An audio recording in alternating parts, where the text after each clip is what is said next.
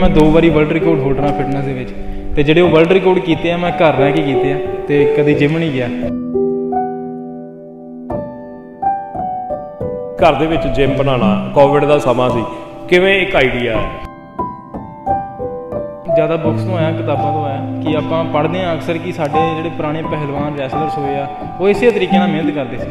ਤੇ ਅੱਜ ਆਪਾਂ ਦੇਖਦੇ ਹਾਂ ਤਾਂ ਅੱਜ ਜਿਹੜਾ ਯੂਥ ਆ ਉਹ ਸੋਚਦੇ ਆ ਕਿ ਆਪਾਂ ਜਿਮ ਤੋਂ ਬਿਨਾ ਮਿਹਨਤ ਨਹੀਂ ਕਰ ਸਕਦੇ ਜਾਂ ਕੁਝ ਅਚੀਵ ਨਹੀਂ ਕਰ ਸਕਦੇ। ਕੋਵਿਡ ਤੋਂ ਮਤਲਬ 4-5 ਮਹੀਨੇ ਪਹਿਲਾਂ ਹੀ ਇਹ ਕੰਮ ਦੀ ਸ਼ੁਰੂਆਤ ਕੀਤੀ ਮੈਂ ਤੇ ਮਤਲਬ ਜਿਹੜੇ ਵੇਸਟ ਮਟੀਰੀਅਲਸ ਪਏ ਹੁੰਦੇ ਸੀ, ਉਹਨਾਂ ਨੂੰ ਇਕੱਠਾ ਕਰਕੇ ਮੈਂ ਆਪਣੇ ਇਕਵਿਪਮੈਂਟ ਬਣਾਉਣੇ ਸਟਾਰਟ ਕਰਤੇ।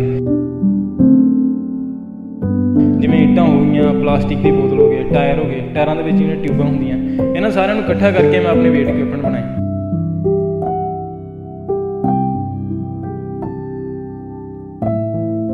ਵੱਖਰਾ ਇੱਕ ਯੂਨੀਕ ਤਾਂ ਲੱਗਾ ਸਫਰ ਕਿ ਇੱਕ ਯੂਨੀਕ ਕੰਮ ਦੀ ਸ਼ੁਰੂਆਤ ਕੀਤੀ ਆ। ਅੱਜ ਮੈਂ ਅੱਜ ਜੇ ਤੁਸੀਂ ਸਰਚ ਕਰਦੇ ਹੋ ਕਿ ਪੁਸ਼ਅਪ ਮੈਨ ਆਫ ਪੰਜਾਬ ਕਿਹਨੂੰ ਕਿਹਾ ਜਾਂਦਾ ਤਾਂ ਉੱਥੇ ਮੇਰਾ ਨਾਮ ਤੁਸੀਂ ਸਰਚ ਕਰੋਗੇ।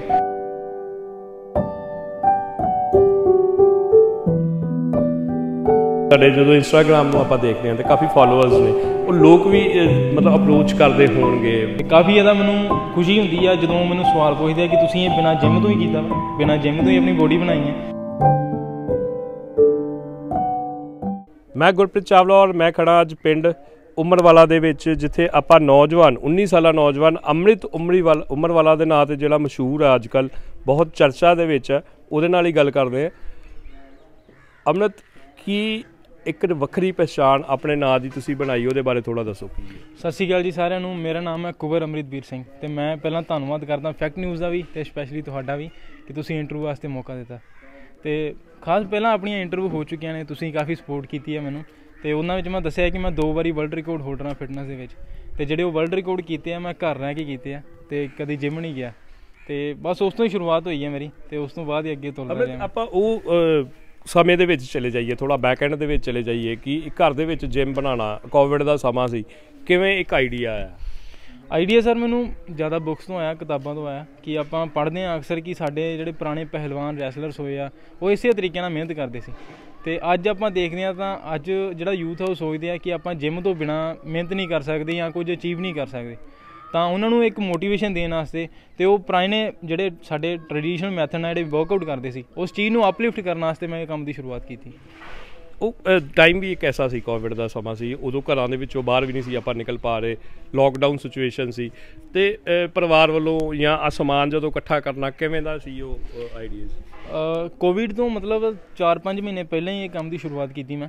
ਤੇ ਮਤਲਬ ਜਿਹੜੇ ਵੇਸਟ ਮਟੀਰੀਅਲਸ ਪਏ ਹੁੰਦੇ ਸੀ, ਉਹਨਾਂ ਨੂੰ ਇਕੱਠਾ ਕਰਕੇ ਮੈਂ ਆਪਣੇ ਇਕਵਿਪਮੈਂਟ ਬਣਾਉਣੇ ਸਟਾਰਟ ਕਰਤੇ। ਜਿਵੇਂ ਇੱਟਾਂ ਹੋ ਗਈਆਂ ਪਲਾਸਟਿਕ ਦੀ ਬੋਤਲ ਹੋ ਗਏ ਟਾਇਰ ਹੋ ਗਏ, ਟਾਇਰਾਂ ਦੇ ਵਿੱਚ ਜਿਹੜੀਆਂ ਟਿਊਬਾਂ ਹੁੰਦੀਆਂ, ਇਹਨਾਂ ਸਾਰਿਆਂ ਨੂੰ ਇਕੱਠਾ ਕਰਕੇ ਮੈਂ ਆਪਣੇ ਵੇਟ ਇਕਵਿਪਮੈਂਟ ਬਣਾਏ।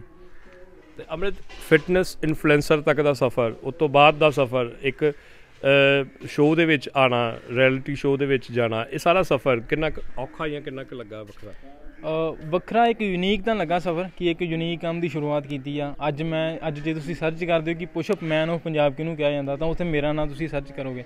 ਤਾਂ ਬਹੁਤ ਖੁਸ਼ੀ ਹੁੰਦੀ ਕਿ ਮੈਂ ਜਿੱਦਾਂ ਮਰਜ਼ੀ ਆ, ਰੁਕਾਵਟਾਂ ਤਾਂ ਆਉਂਦੀਆਂ ਨੇ। ਜੇ ਤੁਸੀਂ ਕੰਮ ਦੀ ਕਿਸੇ ਦੀ ਸ਼ੁਰੂਆਤ ਕੀਤੀ ਆ, ਉਹਦੇ 'ਚ ਤੁਹਾਨੂੰ ਡਿਫਿਕਲਟੀਆਂ ਵੀ ਆਉਣੀਆਂ ਵਾ, ਤੁਹਾਨੂੰ ਈਜ਼ੀ ਸਿਚੁਏਸ਼ਨ ਵੀ ਆਉਣੇ ਆ, ਜਿਹੜੀ ਤੁਸੀਂ ਫੇਸ ਕਰੋਗੇ, ਵਧੀਆ ਹੈਪੀਨੈਸ ਆਉਣਗੀਆਂ, ਸਾਰਾ ਕੁਝ ਆਉਂਦਾ ਵਾ। ਤੇ ਉਹਨੂੰ ਫੇਸ ਕਰਕੇ ਹੀ ਆਪਾਂ ਅੱਗੇ ਵਧਦੇ ਆ।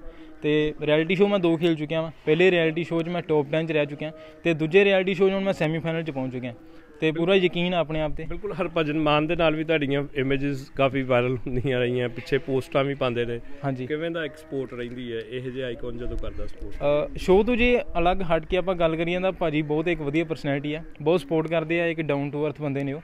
ਤੇ ਉਹਨਾਂ ਨੇ ਬਹੁਤ ਸਪੋਰਟ ਕੀਤੀ ਜਦੋਂ ਉਹਨਾਂ ਨੇ ਮੇਰੀ ਸਟੋਰੀ ਦੇਖੀ ਤਾਂ ਕਾਫੀ ਜ਼ਿਆਦਾ ਸਪੋਰਟ ਕੀਤੀ ਅੱਜ ਤੱਕ ਮੇਰੀ ਸਪੋਰਟ ਕਰ ਰਹੇ। ਆ ਅੱਛਾ, ਅੰਮ੍ਰਿਤ, ਇੱਕ ਇੱਕ ਇਹ ਵੀ ਮੈਂ ਦੇਖਿਆ ਤੁਹਾਡੇ ਜਦੋਂ ਇੰਸਟਾਗ੍ਰam ਨੂੰ ਆਪਾਂ ਦੇਖਦੇ ਹਾਂ ਤੇ ਕਾਫੀ ਫਾਲੋਅਰਸ ਨੇ, ਉਹ ਲੋਕ ਵੀ ਮਤਲਬ ਅਪਰੋਚ ਕਰਦੇ ਹੋਣਗੇ, ਜਿਹੜੇ ਦੂਜੇ ਸਟੇਟਸ ਤੋਂ ਜਾਂ ਅਬਰੋਡ ਤੋਂ ਵੀ ਲੋਕ?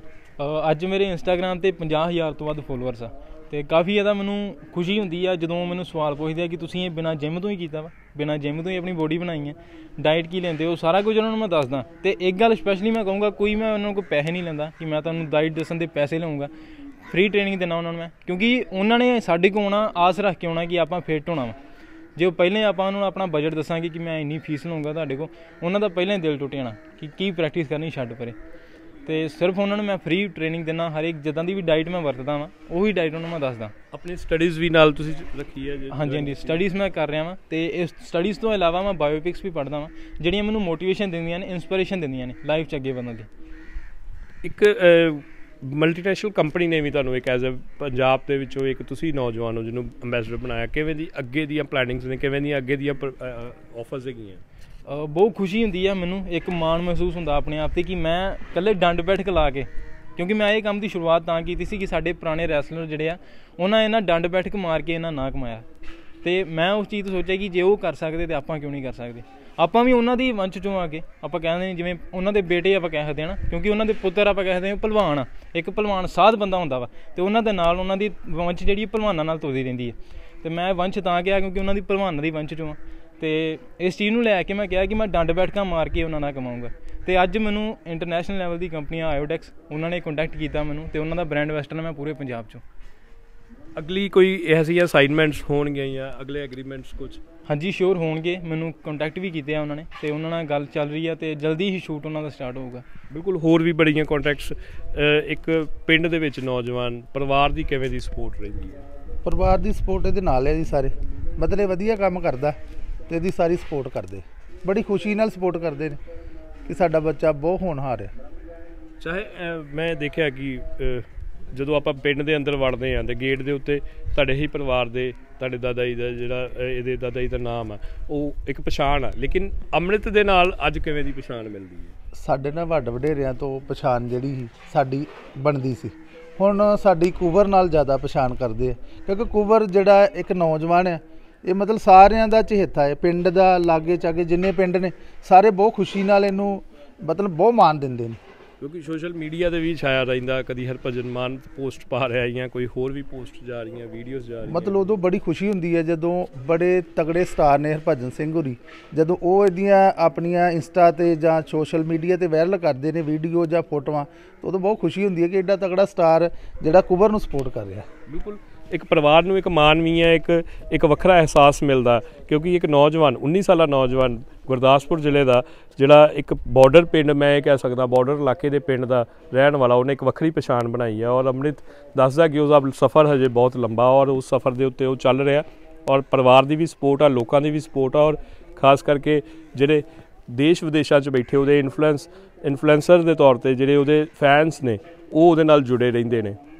ਕੈਮਰਾ ਪਰਸਨ ਵਿੱਕੀ ਦੇ ਨਾਲ। ਗੁਰਪ੍ਰੀਤ ਚਾਵਲਾ ਫੈਕਟ ਨਿਊਜ਼ ਲਈ ਗੁਰਦਾਸਪੁਰ ਤੋਂ।